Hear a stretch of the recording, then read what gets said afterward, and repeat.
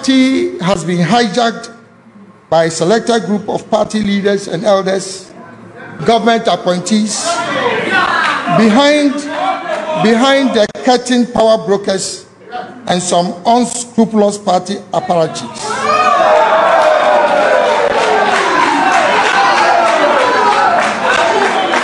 It was my fervent wish, it was my fervent wish to use the vehicle of their party to bring my God given talents, experience, and knowledge acquired both locally and internationally over a period of 46 years to serve our dear nation, Ghana, at the highest level of executive authority.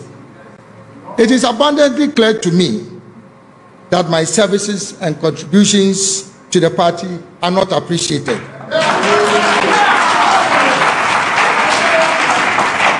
And that my continuous stay in the party will create further tension and divisions, which is an exact replay of the circumstances that led to my decision to resign from the party in 2008.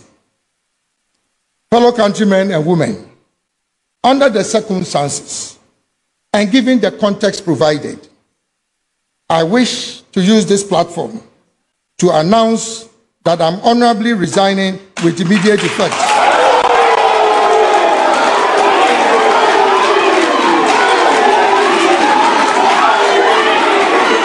Thank you. Thank you. Thank you. Thank you.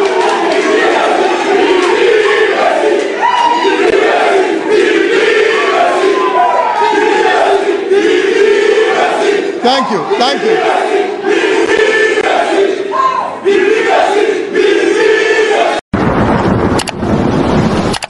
Maame fa na asɛm ma pendream tv pendream tv deɛ ɔhyɛ dɛm yopo ɛtifoɔ ha yɛ pendream tv mpakyɛw sɛ na yɛ wo first time a subscribe to channel no fa wo nsa bɔ adoma no so sɛdeɛ ɛbɛyɛ de video bi ato a wobɛyɛ first person a wobɛhwɛ wohwɛ video no wie pɛ sɛne voice note ma yɛn ɛwɔ 0277 128 777 0277 128 777 na ɛbɛbɔ akyerɛ ghanafoɔ nyinaa ɛtiefoɔ yɛnkɔ na. Yɛnkɔhwɛ ɛna video no mmra the entire political landscape of our motherland. With a big round of applause, let's welcome John Alan Kwadwo Kyerematen.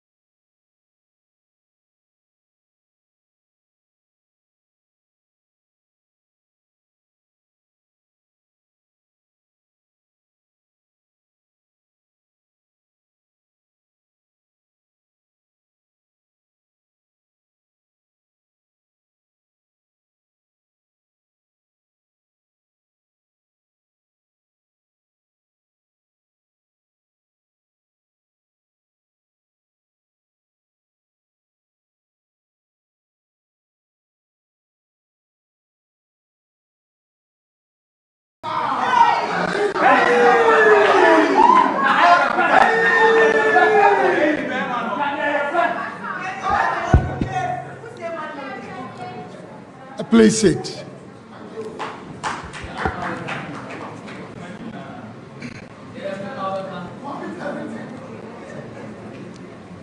Fellow countrymen and women, friends from the media, distinguished invited guests, ladies and gentlemen. Let me start first by expressing my profound gratitude to you all for accepting my invitation to attend this press conference here today.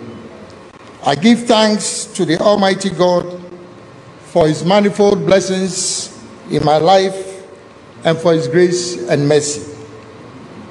I wish also to use this platform to express my heartfelt appreciation to each and every one of you, particularly the rank and file of the New Patriotic Party NPP, who have believed in my vision, who have stood by me through thick and thin, and who have shown an unwavering faith in the promise of a brighter future for Ghana.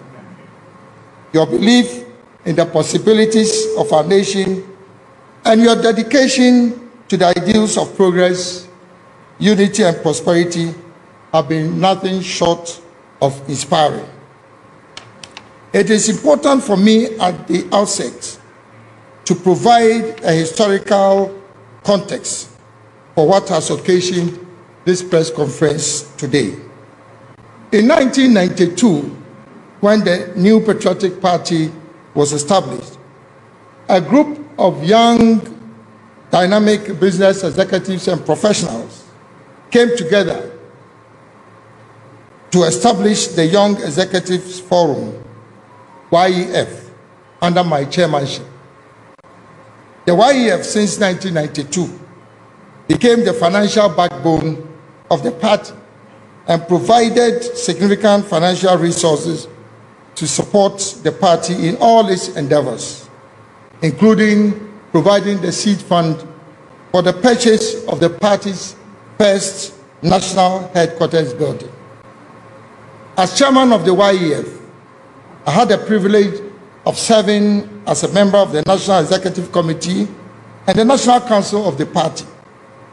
In addition to this, I served as a leading member of various committees of the party. In 1996, after the unsuccessful attempt by the first flag bearer of the party, Professor Albert Adu Boahen, to win the general elections. The membership of the Young Executive Forum nominated me to contest the 1996 presidential primaries alongside leading personalities such as Professor Adu Boahen, Mr. J. Kufuor, Dr. Jani Selby, Dr. Kwame Safo-Adu, Mr. J. H. Mensah, and Dr. Jones Ofori-Atta. I was prevailed at that time upon by some senior members of the party, in particular Mr. Akenten Appiah-Menka and Mr. Stephen Krakue, both of blessed memory, to sacrifice the opportunity to contest for the leadership of the party and rather support my senior colleague aspirants. From 1996 to 2000, I played a leading role in supporting the bid of the then candidate J.A. Kufuor to win the general elections and become president of the Republic of Ghana in 2001.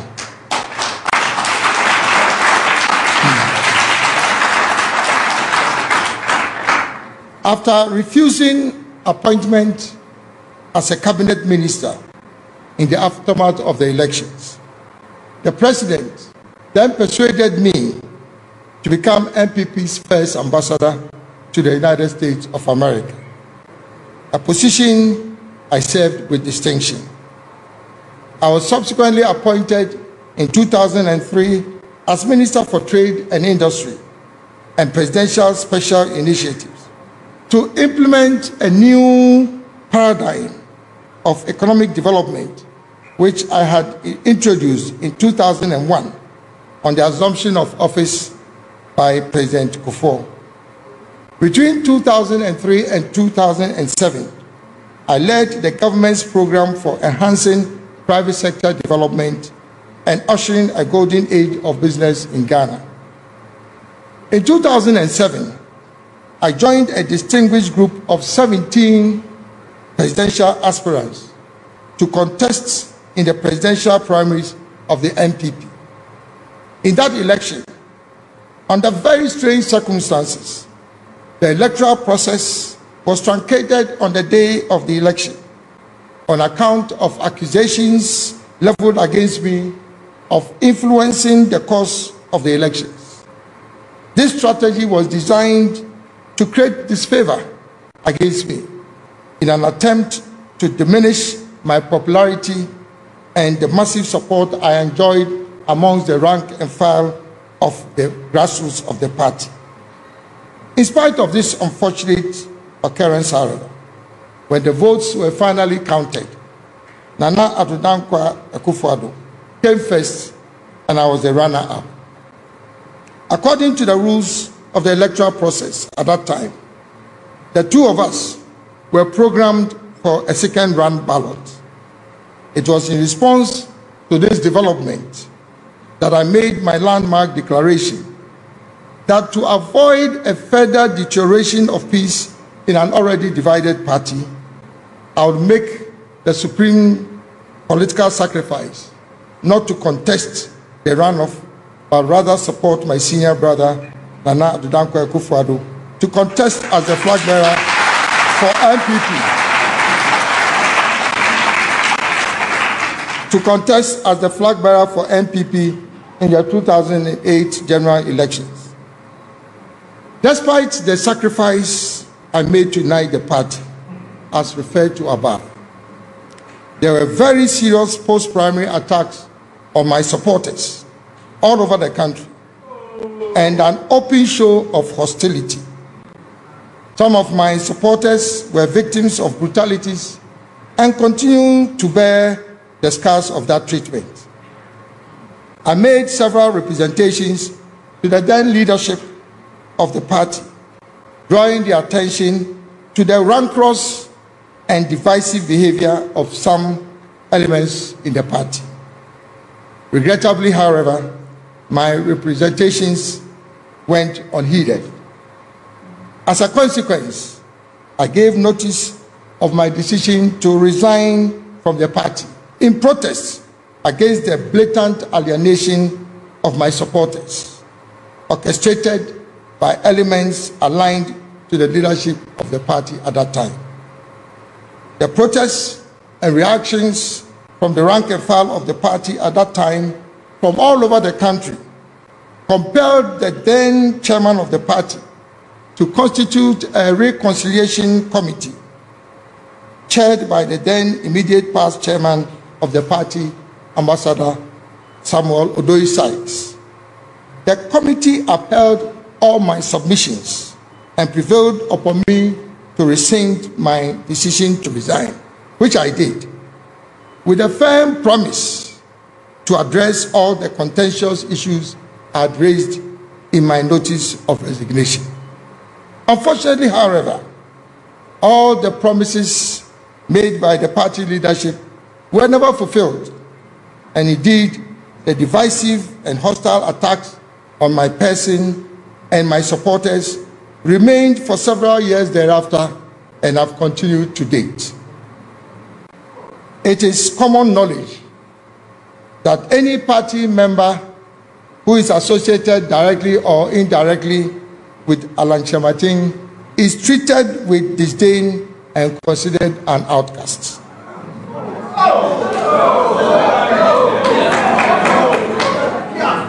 Fellow countrymen and women, um, I've endured all this resentment and maintained my integrity within the party throughout the past 50 years.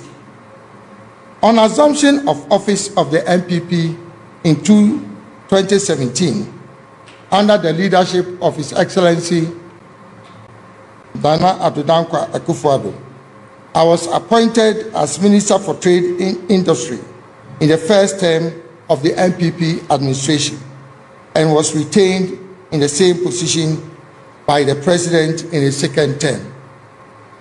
During the past six years, I led the introduction and implementation of some of the most innovative and successful programs of the NPP, including the establishment of the One District, One Factory initiative, the establishment of the African Continental Free Trade Area AFTA with the headquarters of the Secretariat in Ghana, the development of new strategic anchor industries to diversify the economy in Ghana, including the automobile assembly and component manufacturing, the establishment of business resource centers and technology solution centers all over the country to provide comprehensive business development so solutions to micro, small, and medium enterprises.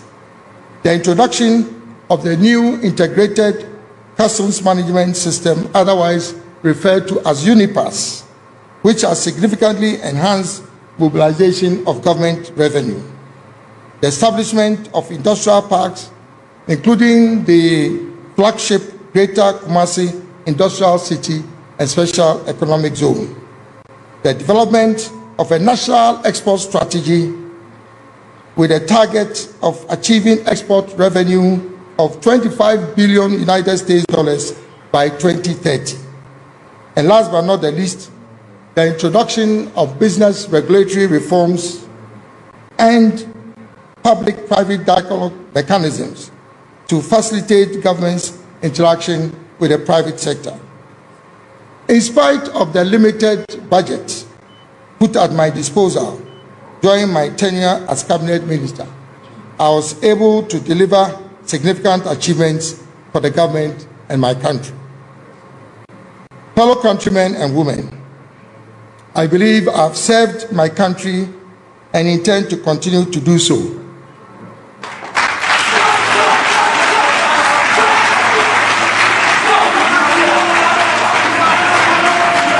On the 5th, on the 5th of January 2023, I resigned honorably from my position as cabinet minister and declared my intention in a national broadcast to contest the presidential primaries of the NPP. On the 26th of August this year, I participated in the Super Delegates Conference to shortlist the 10 aspirants who had filed their nominations to contest in the primaries. I was selected as one of the five candidates to contest for the main presidential primaries scheduled for the 4th of November 2023. Fellow countrymen and women, after carefully analyzing the results of the Superdelegates Conference, I issued a press statement on the 6th of September this year, declaring my intention to exit the process leading to the presidential primaries. In the run up to the Superdelegates Conference, the National Council of the party made some of the most controversial and contentious decisions in the history of our party. They rejected a petition signed by nine out of the ten aspirants requesting for the Superdelegates Conference to be held in one location, as well as to allow each delegate at the conference to nominate five persons instead of one, in line with the provisions of our party's constitution. In my humble and considered opinion, the decisions of the National Council were both unmeritorious and unconstitutional. To make matters worse, it was absolutely clear, as I indicated in my press statement of the 6th of September this year, that the Superdelegates Conference was strategically and tactically skewed and maneuvered in favor of one particular aspect. The level of intimidation and monetization that characterized the conference is unprecedented in the history of internal elections of our party. The subsequent decisions made by the National Council to vary the rules of procedure for the runoff arising from the Superdelegates Conference in direct contravention of both the constitution of the party and the guidelines which had been issued by the Presidential Primary Selections Committee will go down in history as a travesty of justice and a demonstration of high-handedness by the highest decision-making body of the party, second only to the annual delegates conference. Fellow countrymen and women, I joined the new patriotic party at the very beginning of its establishment as a founding member, believing in its core values and the long-standing traditions of its antecedents, predicated on the principles of fairness, equity, probity, accountability, and transparency. I have devoted the best part of my professional career to serving the party, and I still believe in the vision of the founding fathers of the party. However, The NPP, as it exists now, has very little resemblance to the party that I joined in 1992 and helped to make.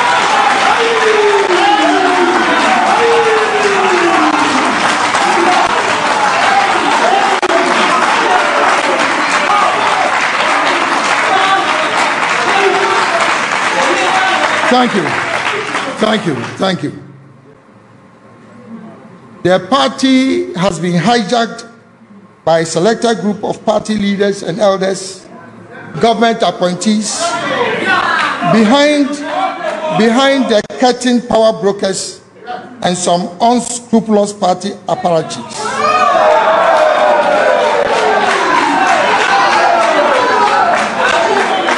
It was my fervent wish it was my fervent wish to use the vehicle of their party to bring my God given talents, experience, and knowledge acquired both locally and internationally over a period of 46 years to serve our dear nation, Ghana, at the highest level of executive authority.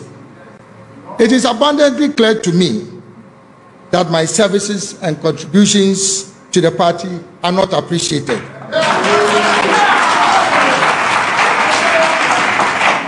And that my continuous stay in the party will create further tension and divisions, which is an exact replay of the circumstances that led to my decision to resign from the party in 2008. Fellow countrymen and women, under the circumstances and given the context provided, I wish to use this platform to announce that I'm honorably resigning with immediate effect.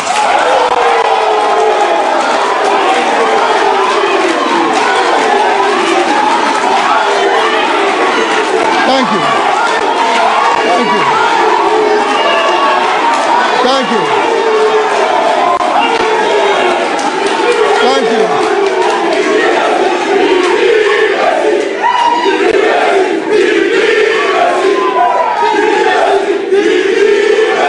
Thank you. Thank you.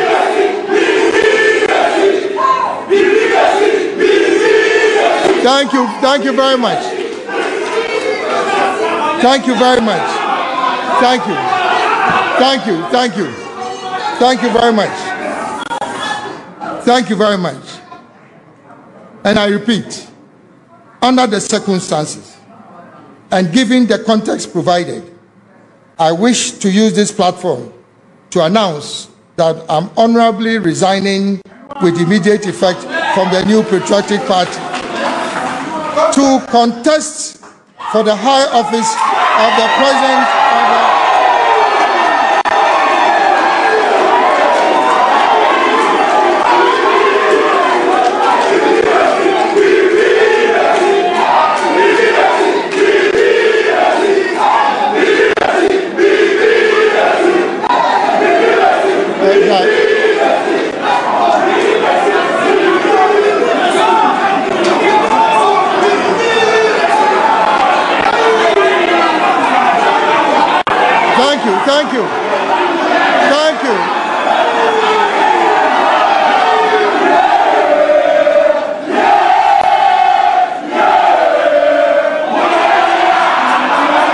Thank you, thank you. Thank, thank you very much. Thank you very much. Thank you.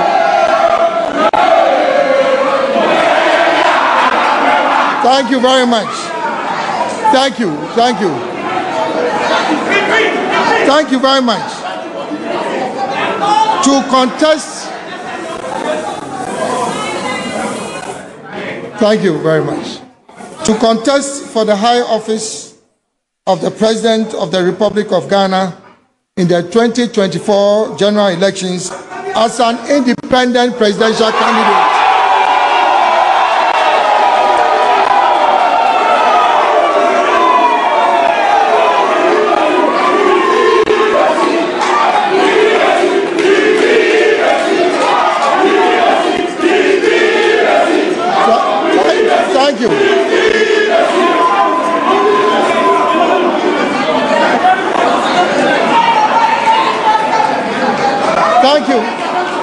Thank you very much. Thank you very much. To,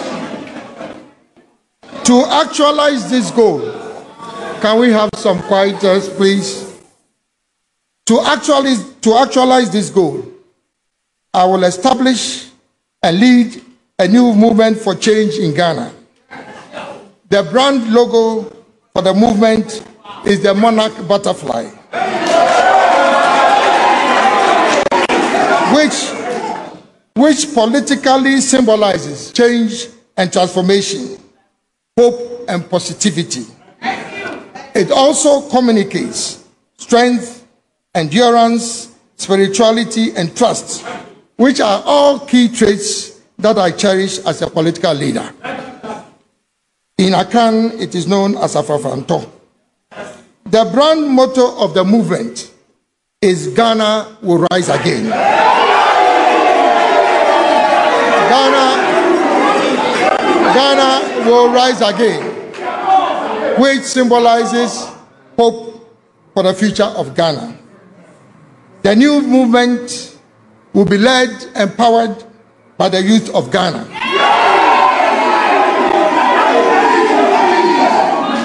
Out, out of the over 17 million registered voters in the 2020 general elections, the youth aged 18 to 35 years constituted over 9.4 million voters, representing 55% of the total voters. This is a constituency that you cannot ignore. It is acknowledged without doubt that the youth represent the future of our country, and yet they constitute the most vulnerable section of our society. From available statistics, 85% of all prison inmates in Ghana are aged between 12 and 35 years. This is profoundly alarming. Fellow countrymen and women, it is also worth noting that every year, over 300,000 graduates from tertiary institutions in Ghana, excluding those from secondary institutions, enter the job market with little or no hope of finding a job. Clearly, public sector employment is not an option with an already over bloated public service. This phenomenon of a pervasive employment crisis is gradually becoming a national security threat, as evidenced by the recent Occupy Jullobi House demonstrations. The initial reaction of the police in manhandling some protesters is not the solution to the problem. What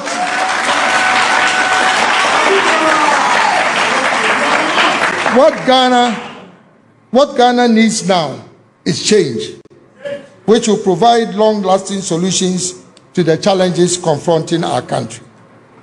Fellow countrymen and women, I'm using this platform to introduce myself to you, the good people of Ghana, and humbly seek your support to become the next president of the Republic of Ghana.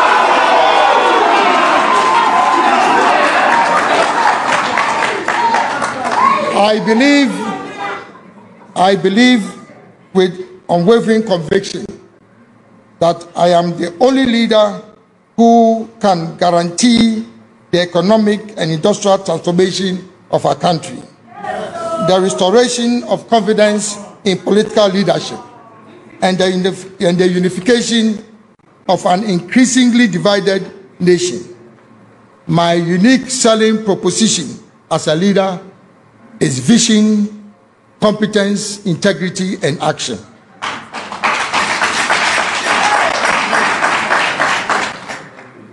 The four dominant themes for this change agenda will be pursued, which will be pursued by the movement, as follows.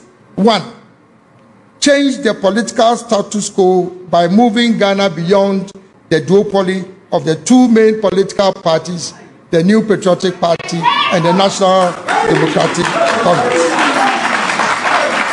This, this will break divisive partisanship in governance in Ghana and bring an end to the winner takes all political syndrome.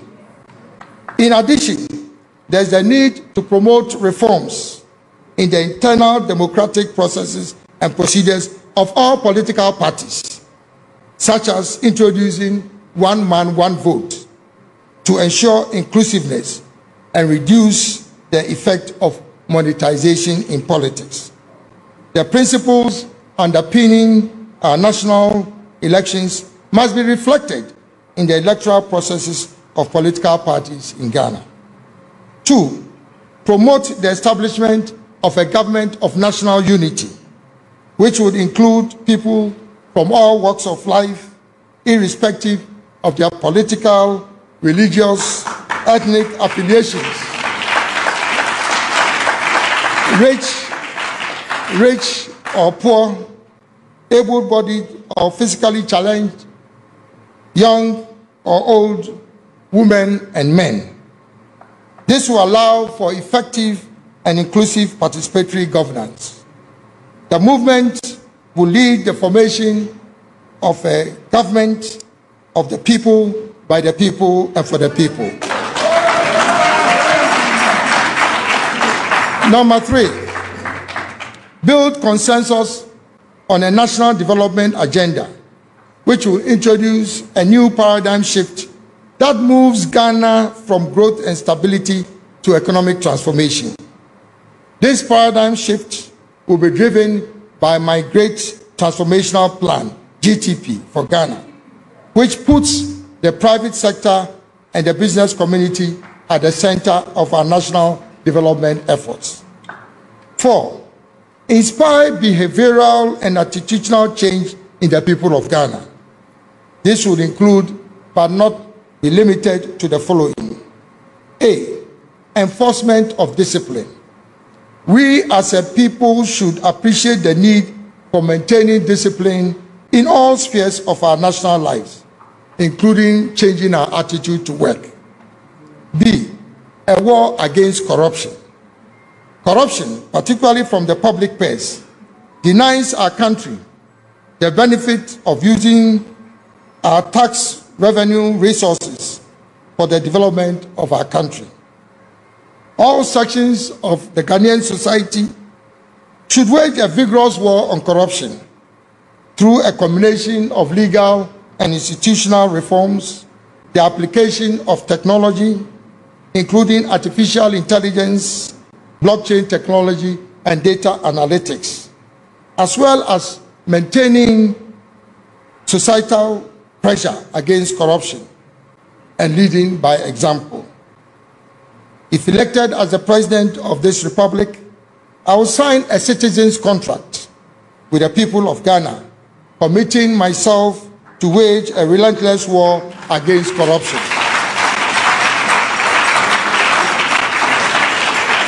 C. Arrogance of power.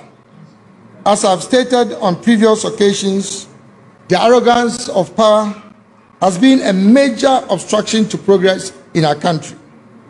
People in positions of authority in this country must understand that leadership is an opportunity to serve the people and not to lord over them.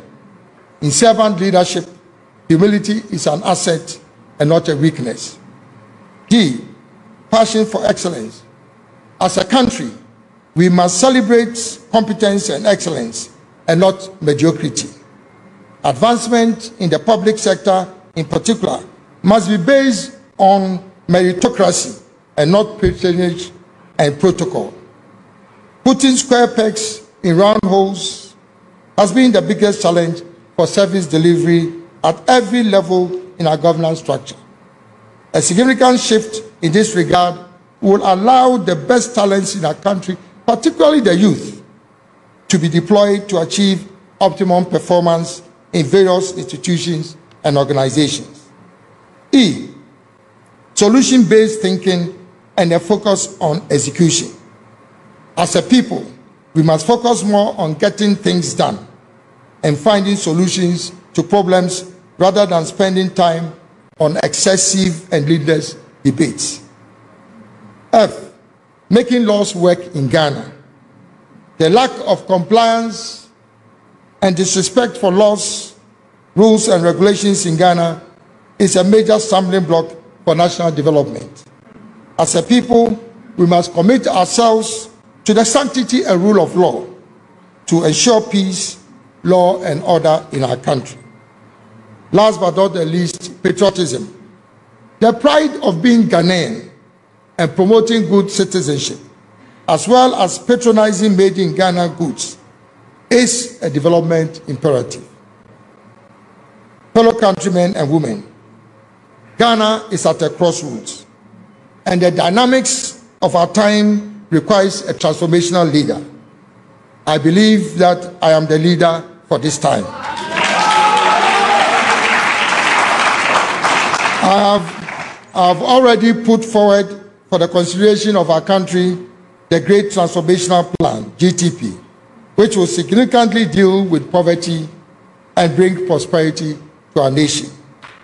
The GTP is anchored on 10 pillars, namely, one, building a strong macroeconomic environment which will be characterized by a stable currency, low inflation, sustainable debt levels, revenue optimization, tight expenditure control, low competitive interest rates, strong external reserves backed by high levels of liquidity to support the financial sector. Two, introduce a new agricultural revolution for Ghana, which will first take advantage of both local, regional, and global markets. Secondly, be driven by technology, innovation, and cutting edge research. Thirdly, optimize value for farmers through value chains. And fourthly, promote economies of scale in agriculture through large scale commercial farming. Three, promoting industrial transformation through value addition and the establishment of strategic anchor industries to diversify the Ghanaian economy. This will also involve the establishment of industrial parks and special economic zones, as well as the aggressive promotion of small and medium scale enterprises. Four, accelerated infrastructural development, promoting private sector financing for public infrastructure such as roads, railways, ports, harbors, water supply systems, public housing, etc. This will reduce government's exposure to the financing of such infrastructural projects. Five, digital mainstreaming. Mainstreaming digitization in all government and public sector activities and bringing digital technologies to the doorstep of the ordinary Ghanaian. Six, energy security and diversification, placing greater emphasis on the development of renewable sources of energy, including but not limited to nuclear and hydrogen energy. This will require fast tracking the execution of government's strategy for energy transition. Seven, health. Expanding health infrastructure and services by enhancing private sector participation in health service delivery across the country, as well as improving the viability of the National Health Insurance Scheme. Eight, education. Undertaking a comprehensive review of existing reforms in the educational sector, particularly the free SHS program, to ensure optimum efficiency and effectiveness in its implementation. Government will pay special attention to institutionalizing the link between industry, academia, and educational institutions and reinforce the importance of apprenticeship and internship. Considering the critical importance of early childhood education, the development of new industrial, new, the development of new interventions in the educational sector will be to improve basic education in all its forms and nature, including but not limited to physical infrastructure, learning facilities, teacher training, and curriculum development. Nine, tourism. Encouraging private sector investments in the development of world-class tourism infrastructure and also taking steps to leverage the tourism potential in each district and region of our country. In addition, my government will facilitate air travel for tourists coming into the country by providing free visas, including visas on arrival. Finally, the development of the creative industry in Ghana will be the backbone of the reforms in the tourism industry. This will include, but not be limited to, the following creative industries film, dance, theater, music, literature, and multimedia arts. 10. Natural resource management. Developing and implementing a comprehensive program for the management of Ghana's natural resources. This would include oil and gas, solid minerals, water and marine resources, and land and forest resources. As a target, there shall be no export of raw materials from Ghana in any form or nature without a minimum of 60% value addition by the year 2030.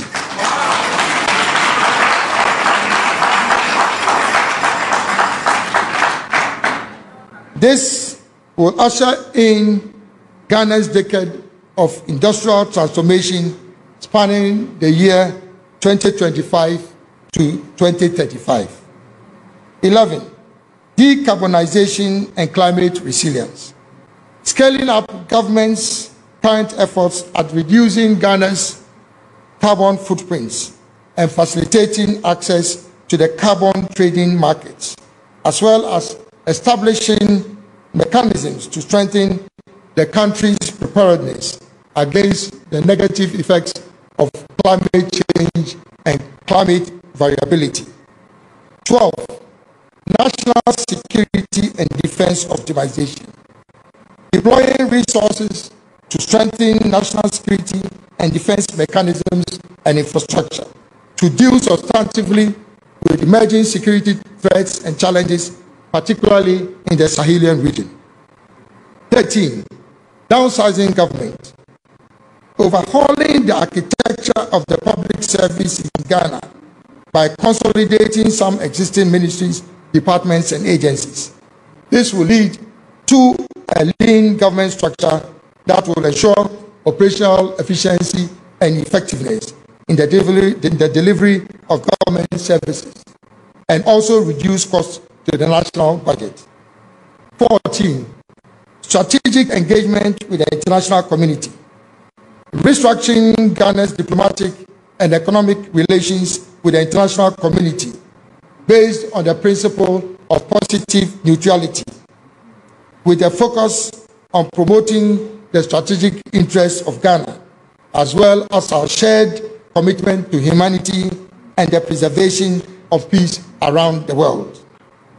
Last but not the least, sports investing in world-class new generation sports facilities in selected competitive sporting disciplines. In this regard, my government would encourage the participation of the private sector in the development of sports infrastructure around the country, including sports academies. The Great Transformational Plan, GTP, will provide jobs for the people, cash for the people.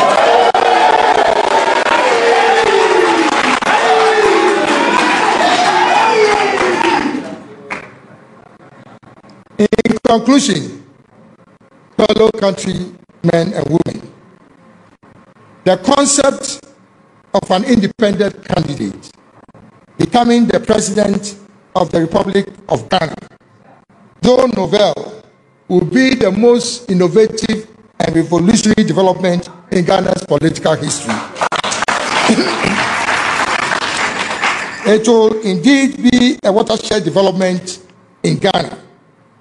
Although similar examples of this model have been practiced successfully in countries such as Benin in Africa and other political jurisdictions.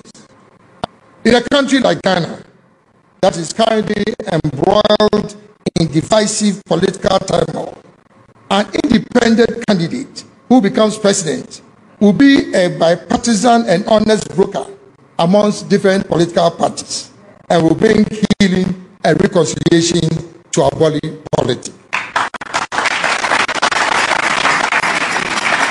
Ministers and other key government officials will be appointed from all parties and shall also include and, and shall also include individuals who are apolitical but have a demonstrable and proven track record, proven track record of performance in their field of specialization. Fellow countrymen and women, what Ghana needs now is a new leader and not a new political party.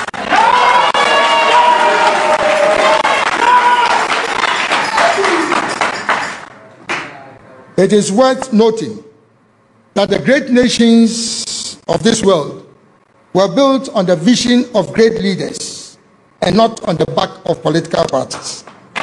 There are multiple examples of such great leaders in political history around the world, including George Washington and Abraham Lincoln of the United States of America, Winston Churchill of Great Britain, Mahatma Gandhi of India, Lee Kuan Yew of Singapore, Deng Xiaoping of China, and Dr. Kwame Nkrumah of Ghana.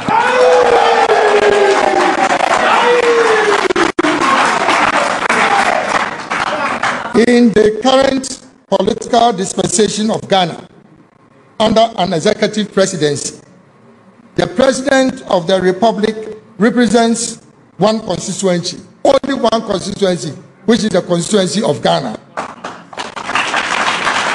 While, while different political parties can contest for parliamentary seats on the ticket of their political parties, electing an independent candidate as president who will lead a government of national unity will not only bring harmony to the legislature, but also facilitate the approval and execution of government programs and projects. Who better can moderate and lead such a political divide than an independent candidate who has no direct ties with any existing political party? Fellow countrymen and women, I wish to use this opportunity to assure the rank and file of the new patriotic party that I still very much cherish my relationship with you, and I'm committed to the ideals of the founding fathers of the party. My decision to contest as an independent, independent candidate will not destroy the party, but rather provide the party an opportunity to participate in the government of national unity in the future.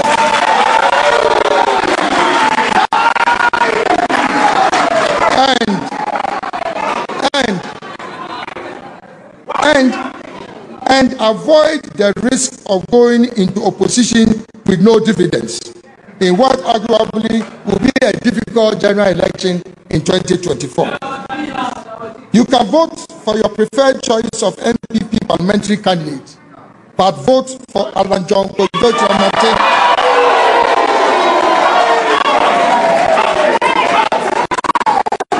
But vote for Alan John but vote for Alan John Kwadwo Kyerematen in the presidential elections in December 2024 to become the sixth president of the Fourth Republic of Ghana.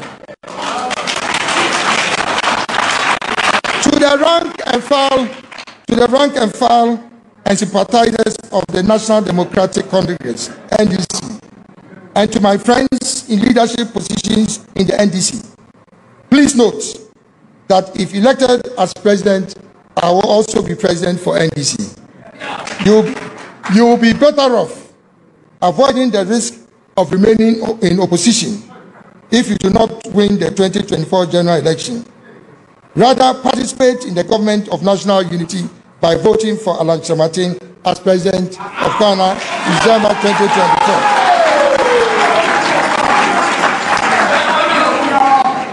To the rank and file, to the rank and file, and my friends in the smaller parties and other political organizations, including the national interest movement. Please let us join hands to unite Ghana for our collective benefit. Fellow countrymen and women, I will in the coming weeks conduct a formal launch of my campaign and, and provide further details and provide further details of my great transformational plan. Subsequent to the launch event in the coming months, you will see me in your communities around the country, in your lecture halls, at, at, at our music, at our music concerts, in our churches, in, in our mosques, on your streets, at the market centers, at the fishing ports, at our trotro and taxi stations, on your farms, and in every corner of our society.